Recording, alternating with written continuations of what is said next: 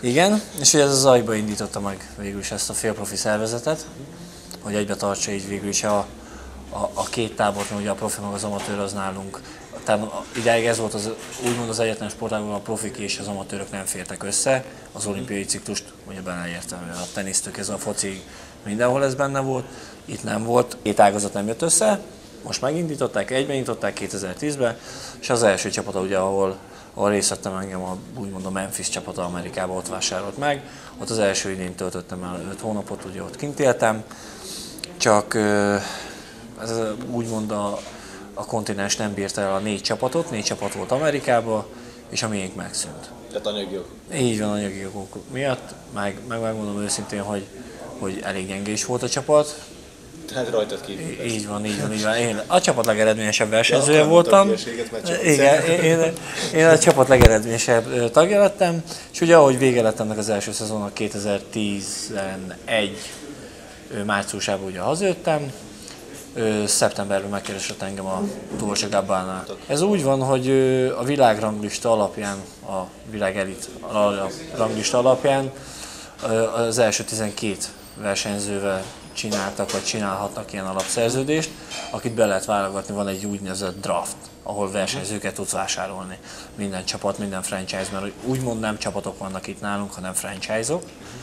És végül is engem ők ott, ott, ott kerestek úgy, hogy megszűnt a csapatom, automatikusan bekerültem megint a kalapba, hogy meg tudjanak vásárolni, és az olaszok engem így kerestek meg. 2011. októberben aláírtam az olaszokkal a szerződést, akkor kiköltöztem, úgymond kiköltöztem, hogy, hogy kinértünk a, a Sziszibe van végül is a komplexum, az, e, a felkészülésnek a, az egész menet ott kezdődött meg.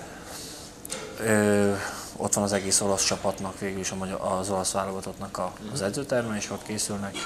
És akkor végül is onnan ott volt mindig a, a felkészülés, utó, a mérkőzés előtt egy héttel utaztunk el Milánóba, és ugye ott voltak a, a ott minden, majdnem végül is minden mérkőzésemet ott vívtam.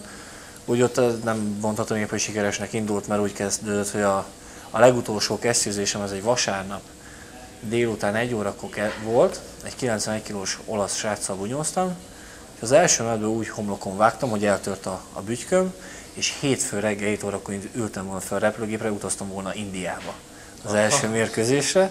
Így nem nagyon kellett, hanem mehettem a kórházba, és jöttem haza, nagyon féltem, hogy hogy az idén nem kell végig boxolnom, mert most törött kézzel nem tudom mennyire fognak rám idén, mennyire fognak ugye rám számítani, de mondták, hogy menjek haza, gyógyuljon ma a kezem, és januárban találkozunk.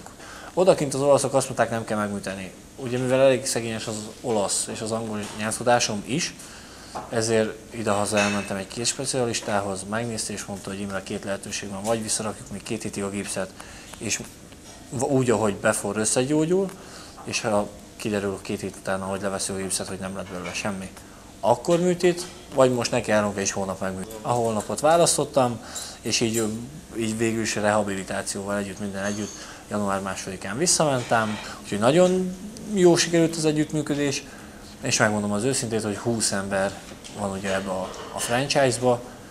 Ebben a csapatban, igen, hát ebben a csapatban, amiről beszélünk, abból négy emberre csináltak előszerződést, én köztük voltam, és októberben engem visszavártak, úgyhogy október óta újra az olaszoknál vagyok, most annyi, hogy névválasztóztatáson nem Milánó Thunder vagyunk, hanem Itália Thunder. Ö, ez már megkezdődött Aha, november, novemberben, Ö, most hétvégén boxoltam ugye a legutóbbi meccsemet, az alapszakasznak vége van, a csapatunk ö, ugye ugyan, hogy két, két ö, grup van, két ö, oszlop van, 6-6 csapattal, az első négy jut tovább, most mi a második helyen szerepelünk, az Asztana csapat előzött meg minket csak, az, ugye az egész az a Zajba égisze alatt van, a, a Világszövetség égiszei alatt van. Uh-huh. Most már olimpiai kvótát is lehet benne szerezni, most eléggé szétszintálták a, a, úgymond az ökölülvás is. Ugye az amatőr meg a profitából nem annyira fér meg egymás mellett, aki el akar menni pénzt keresni, az inkább elmegy ugye profinak. Uh-huh. Jó, nem mindenki tud pénzt keresni és megélni belőle mit tudom, mint a nagy nevekről beszélhetnénk, akár a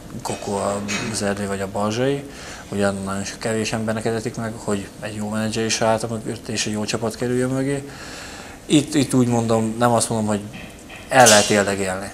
El lehet éldegélni. Tényleg, tényleg meg lehet élni belőle, el lehet éldegélni. Nem kell ilyen hatalmas nagy pénzösszegekre gondolni, de, de jobban megéri, mint ha ide-haza üttetném magam. Sőt, akármelyik nemzetközi versenyen elindulhatsz Európa bajnokságon, világbajnokságon, hogy úgy akar, ahogy most február elején tettem, hogy elindultam az 57. Bocska István emlékversenyen. És akkor most vagyunk a jelenben. Igen, és például 91 kilóban, úgyhogy senki nem számított rá, berobbantam a, úgy lehet azt mondani, a nemzetközi élmezőnybe, 22 ország vett részt, és tényleg csodák sorára megnyertem. Áprilisban boxoltam az utolsó, úgymond amatőr mérkőzésemet, a válogatott színeibe, akkor úgy üzengetve mondhatni azt a szövetségkapitánya megegyeztünk, hogy én maradjak a VSV-be, csináljam ezt a profiligát, ahol, ahol most vagyok. Ugye májusban világbajnok lett a csapat, engem visszavárnak, stb. stb. Nekem ez nagyon bejött. Nem tudok úgymond a válogatott rendelkezésére állni, mert én nem tudok elmenni Tatára edzőtáborozgatni, mert mert ugye az olaszok rendelkezésére kell állnom, én nem érek rá úgy edzőtáborozgatni, versenyezgetni, és akkor maradjak ebbe. És tavaly én el akartam indulni a felnőtt országos bajnokságon, hogy kicsit össze kavarjam itt a, a fejekbe a gondolatokat. 91 kilóban ugye ele, tavaly még a kvalifikáció 81 kilóban indultam, uh-huh. és mondom, meglepem egy kicsit a hazai mezőnyt, 91 kilóban el akartam indulni, csak sajnos nem jött össze, mert az olasz csapat nem engedett el uh-huh. december 9-én nekem kellett boxolnom az ukrán csapat ellen, ahol győzedelmeskedtem, és így, így sajnos kimaradt a felnőtt országos bajnokság, és most pont úgy adta ki az idő, hogy hogy ráértem, itthon voltam, és a kecskeméti edzőm, aki a tréningeimet irányítja, akkor is megkért, hogy te nem jössz el a bocskaira? Mondom, Isten nem megyek, de én 91 kilóba, én nem ígérek semmit. A kedvesemtől úgy jöttem otthonról, mondtam neki, hogy figyelj, én holnap este már jövök haza. Ja, én nem mondj már ilyet. Mondom, de hát mondom, abszolút nem számítok semmit ebbe a 90 kilós kategóriába. Azért vállalom be, mert ugye a VSB-be a 85 kg folyamatosan a 91 kilós palikkal kell birkózgatnom, és mondom, nézzük meg, hogy akkor mit hoz az a 91 kg. Még az első nap volt is, aki megjegyezte, hogy jaj, mi 86 kg van, mész be 91 kg van, nagyon gyenge lesz itt. Mondom, véleményem szerint a gyorsaságom megvan, az erő állóképességem és a, végül is a keménységem az szintén megvan hozzá, meglepetés nem érhet. Aztán az első nap dur, második menetben kiütés, második nap, második nap megint kiütés. Ugye én megmondom őszintén, a harmadik meccs arra nem, nem, nem sokat tettem volna. Gondoltam, jó, dobogó, következő mérkőzésem egy kínai sráccal volt, aki a Bakui 2011-es Bakui világbajnokságon harmadik volt 91 kilóba, szóval lehet azt mondani, hogy a 90 kilós súlycsoportnak az elitjében benne van, a londoni olimpián ötödik lett, és az első menet után az edző mondta volna a pontozási arányt. Ugye ezt tudjuk, így a szünetekben meg tudjuk, hogy Aha a melyik menet hogy el, és akkor mondom, Pista, nem érdekel. Mi, mi az, hogy nem érdekel? Mondom, nem érdekel. Mondom, bunyózok, majd amit kidob a gép, mondom, az lesz a vége. Mondom, én nem, amit tudok, megteszek, ismersz, mondom annyira, nem érdekel a pontozás. És a harmadik menet végén 18-11 ezer arányú pontozással felemelték a kezemet. Most egyelőre úgy vagyok, hogy 17 év vagyok benne be a sportágban, és most nem tudom, egy ilyen 5-6 évet úgy mondom fiatalodott valamit a, a gondolkodásom, uh-huh. és megint ilyen új ambícióim vannak, de nem tudom, hogy melyik irányba. Lehet, hogy elmegyek profinak, lehet, hogy maradok amatőr, nem tudom, ez a, ez a félprofi szervezet, ez, ez tetszik, ez jó. Uh-huh. És ugye ez adja is, hogy olimpián szerepelhetek, nincs is vele probléma. De hogy 2016-ba, Rióba ott leszek-e, itt telepettem le, mivel ide is születtem, megmondom az őszintét, olyan megegyezésem van az olaszokkal, hogy én ide haza tréningezek, uh-huh és mérkőzések előtt egy héttel utazok csak ki. Most már így úgymond kicsit megbontották a csapatot. Vannak olyan srácok, akikben nem bíznak meg, és nekik kint kell menni 24 órába Olaszországba.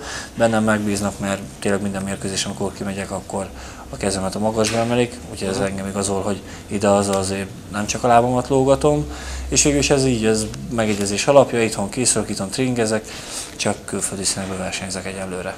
Oda kell figyelni a táplálkozásra, hogy minél többet tudja lenni, és minél finomabbakat. Nem, hála jó Istennek nincs vele problémám, így az átlag testsúlyom ez a 85-86 kg. Abszolút, abszolút nincs, hála jó Istennek abszolút nincs vele problémám. Mérkőzések előtt így körülbelül egy héttel szoktam úgy odafigyelni, hogy milyenek, mi, mi, mik azok a dolgok, amiket úgy megeszek, akkor úgy jobban odafigyelek a, az ilyen lugosítás, hogy a zöldségek szempontjából hogy az izmok azért ne savasodjanak olyan szinten be azért egy komoly terhelés alatt, de ilyenkor úgy, úgymond szabadjára van engedve az étlap.